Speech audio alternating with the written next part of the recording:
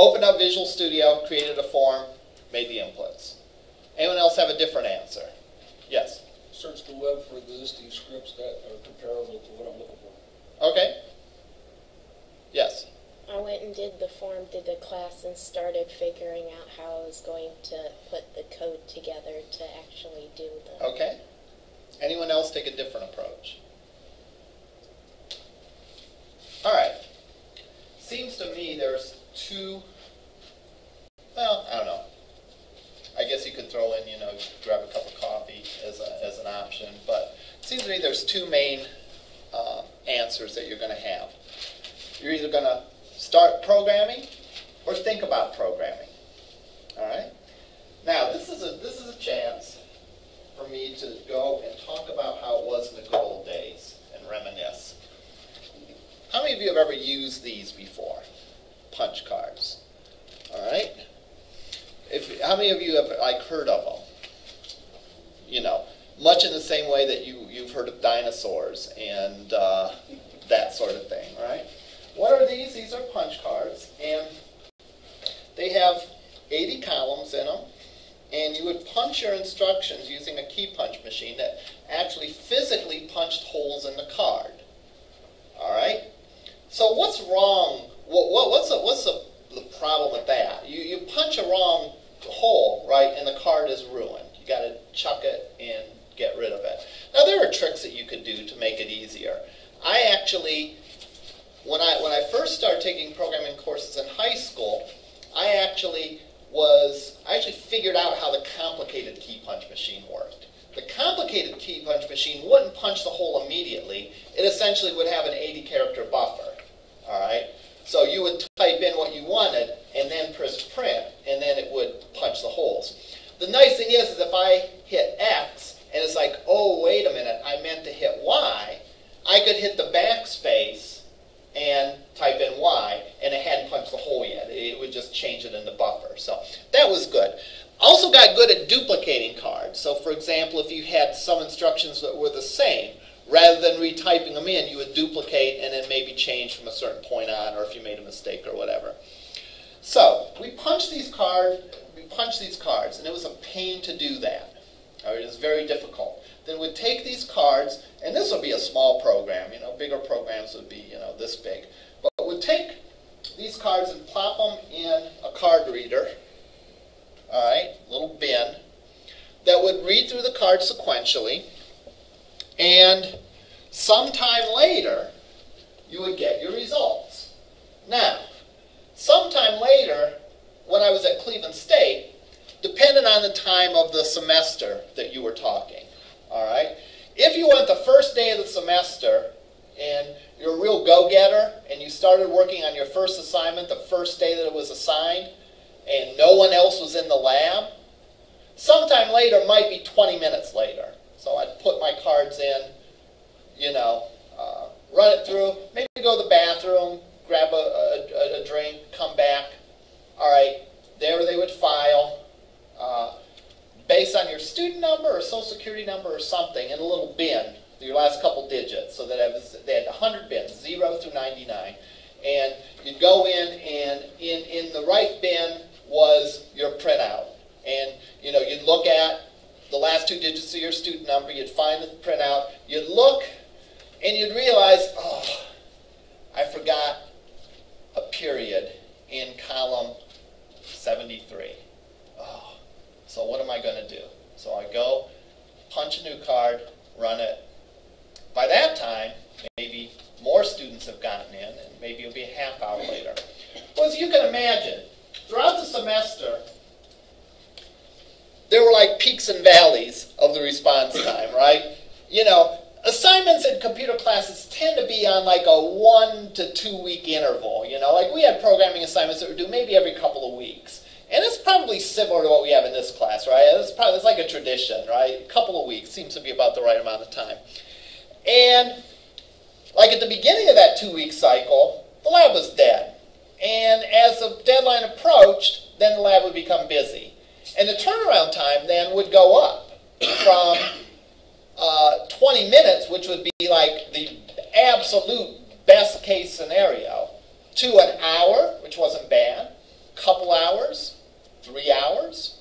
Towards the end of the semester, when everyone was working on their final projects and programs and and turning in late stuff and oh boy, I better open the book because it's week seven in the quarter, all right, um, then the turnaround time would be as long as overnight.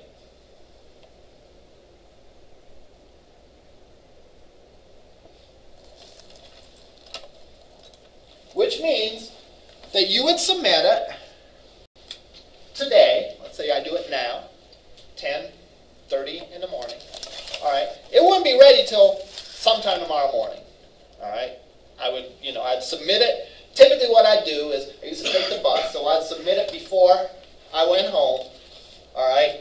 Go home, come in first thing when I got to school, go and look in the bin, find my output, only to realize I forgot a period in column 63 this time.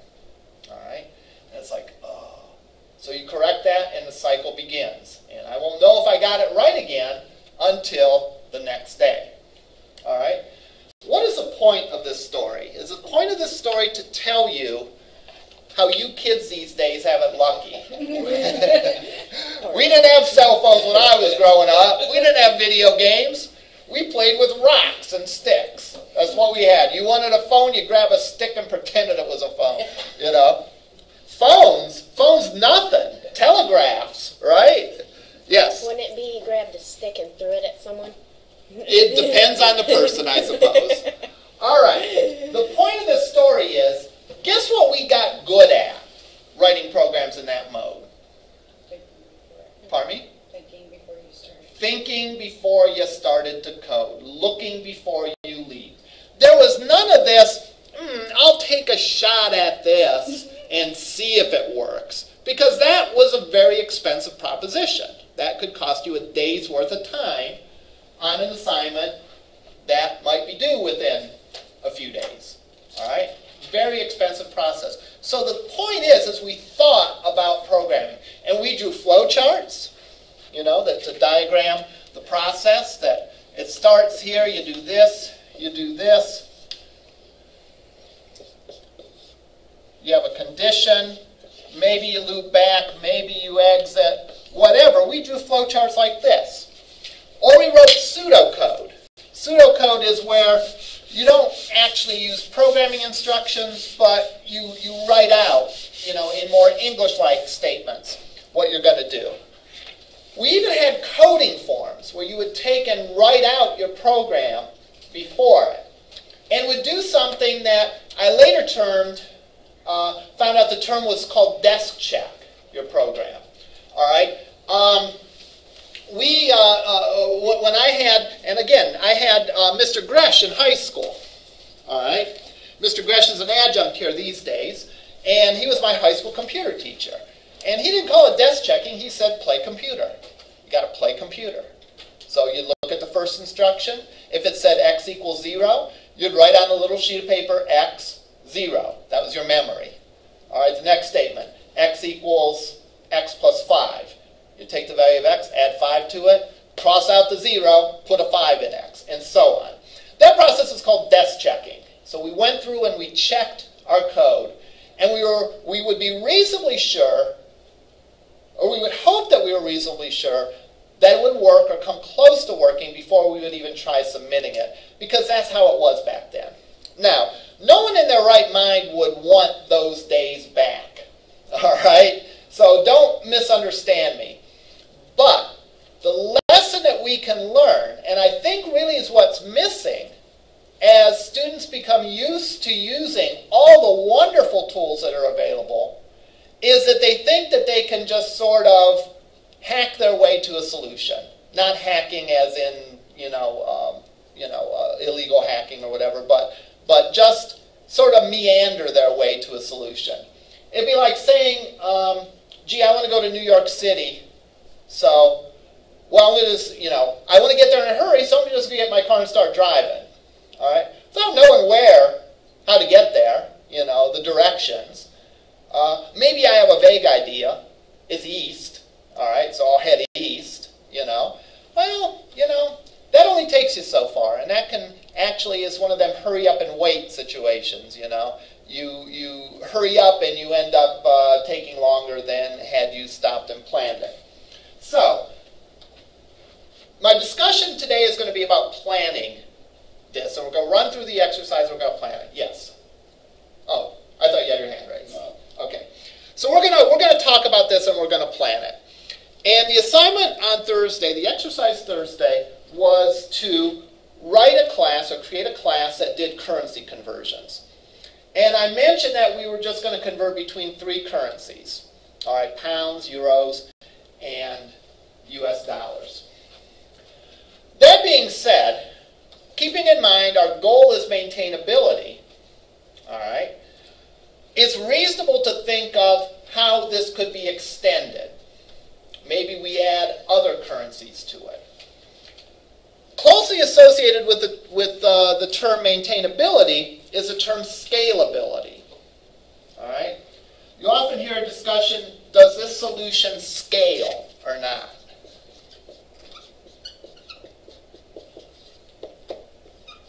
And what that means is, when the problem gets bigger, what happens to the solution? Does it get bigger, or does it stay about the same size? All right? Does it break when it gets too big? All right? We'll keep that in mind later on. Now, let's think about what we're going to have. We know we want a form. We know we want a drop down. Probably two drop downs.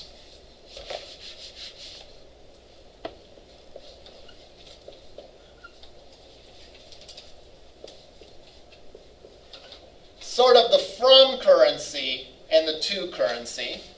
So to convert from dollars to pounds, dollars to uh, euros, euros to pounds, whatever. We have a text box to enter in the quantity, and then we're going to have a label for the results. And probably a button to go. So that's my or design of the user interface. Now again, for this particular uh, assignment, I didn't care too much about how you made it look. All right, because we had a limited amount of time, etc.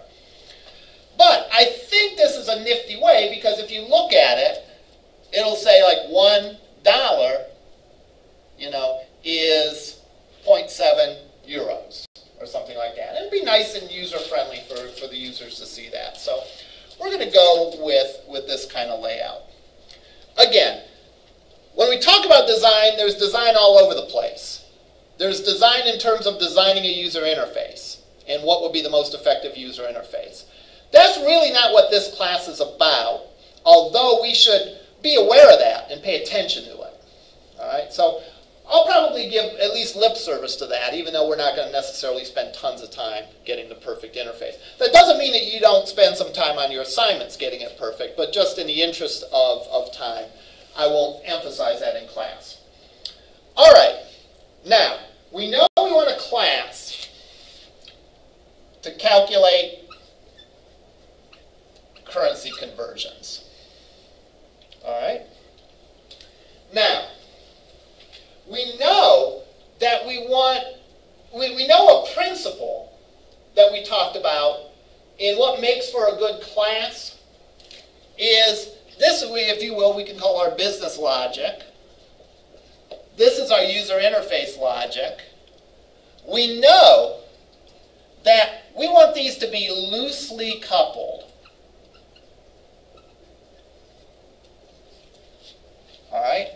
We know we want this to be loosely coupled. All right? What does that mean? It means this should know a lot about the currency conversion. Should be a black box. By the same token, the currency conversion should know about the form, or what's going to be on the form, or the fact that there's a text box and labels and drop downs. Who knows? There might be radio buttons next time instead of a drop down. This could be used in a bunch of different places. All right? So we want it loosely coupled. In other words, we want these to really work independently of each other, to be sort of standalone, but to communicate with each other. All right? How do things communicate with classes or objects? Based on method calls, based on function calls. All right. Now, minimally, I would say, to design this, we would want to think of the signature of this function. All right? Because it's through the function that the user interface is going to communicate with this business logic. Actually, strictly speaking, our code behind file is going to use this function to sort of tie the form and the business logic together. So a minimum of planning would be to identify the uh, signature of the function. And by signature, I mean what the function requires and what the function is going to return. All right? Because let's think of roles here. All right? It's the user interface's function to supply the inputs to the function, to the business function.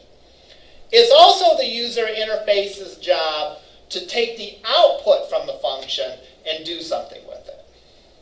It's the function's job to take the input, do whatever it needs to do, and come up with the output. All right? So, minimally, we want to describe the, the, the signature of that function, the convert function. All right? And what would the signature of that convert function be?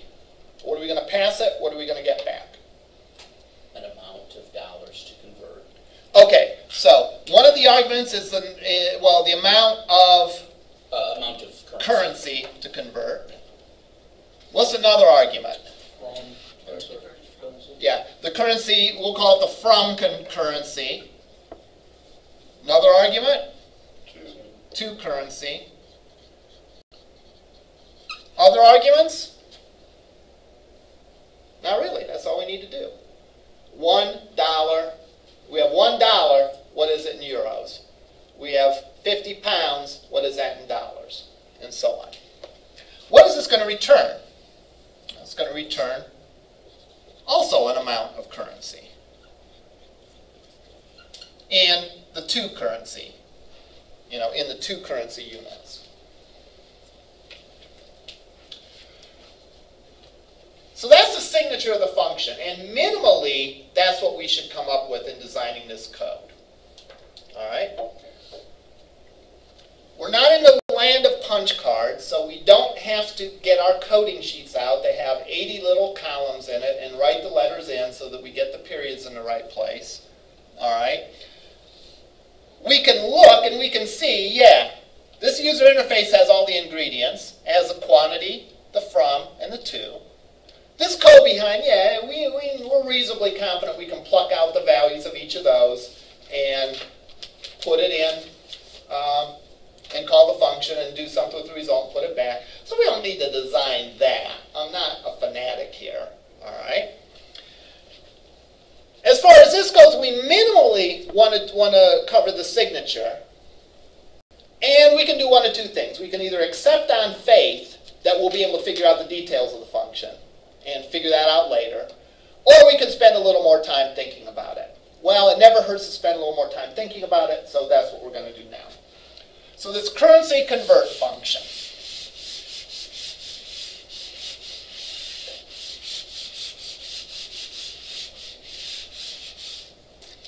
Let me go and pull up the chart so we have some numbers here.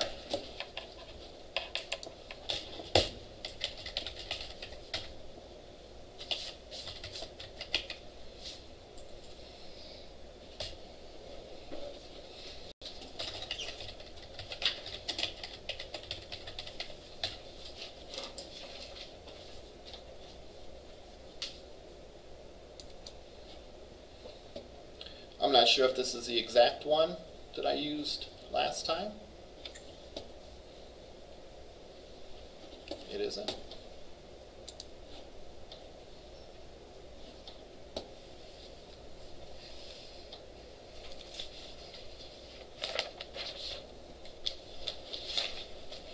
Let's go on Angel.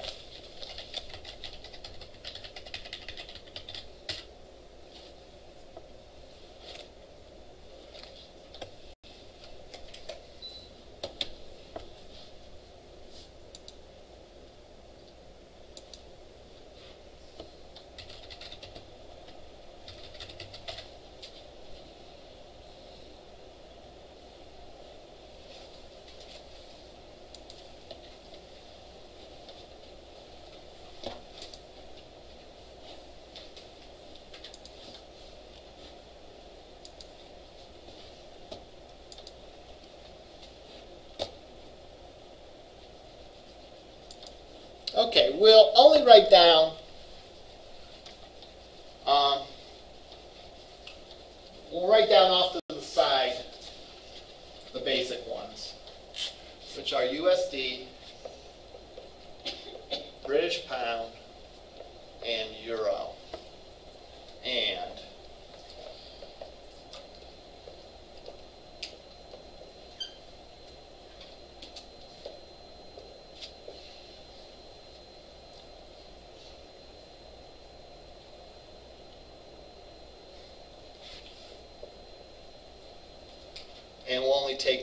two decimal points.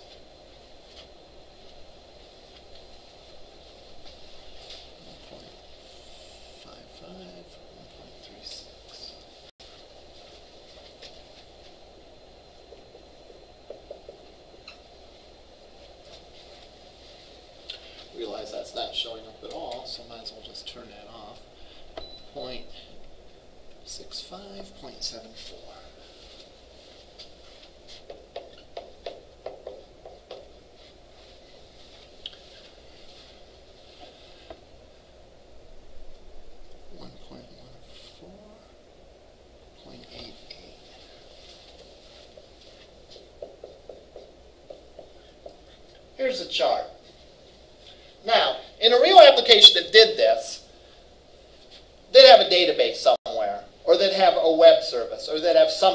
return these values. All right, we haven't gotten that far yet, so we're just going to we're just going to code these values in there, knowing that you know, gee, if we've done a good job separating our code, all right, and we've done a good job and, and our UI is not coupled to the business logic, then we can change some of the details of the business logic, namely grab those values from a database without harming much of anything because it's all as a black box, it's self-contained. What we do in that black box doesn't influence the outside world except through the arguments and the return value. Okay, so I could do something like this. If from currency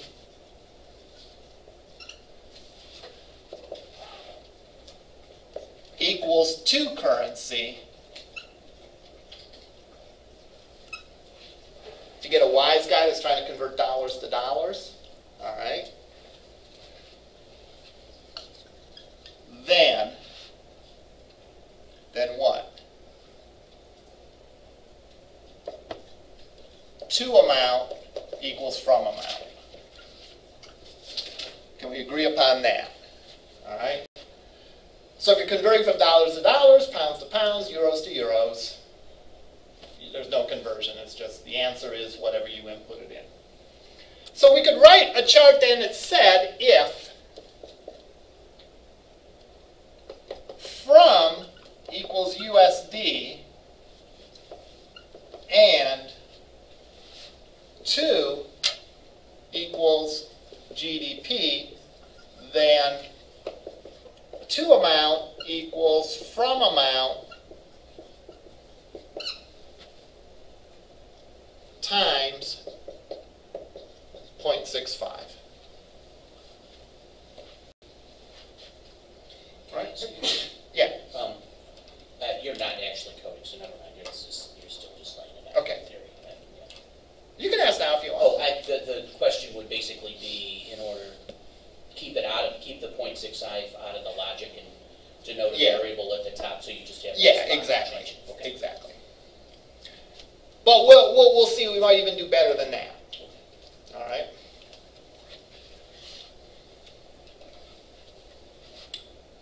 All right.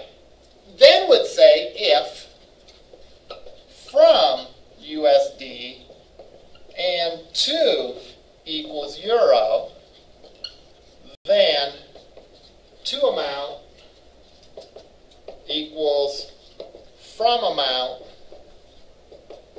times 0.74. Okay, so that took care of the dollar conversion, right? We would similarly have two more if statements for pounds, if the from was pounds, and two more if statements if the from was euros. What's wrong with this picture? Or put differently, what does this not do? What does this solution not do?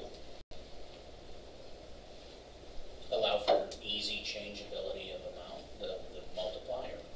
No, we'll do what you said up there, and, and we'll populate va- values there. Uh, it doesn't allow for other currencies to be. in. Yeah, and, and the word that I used earlier today is it doesn't scale.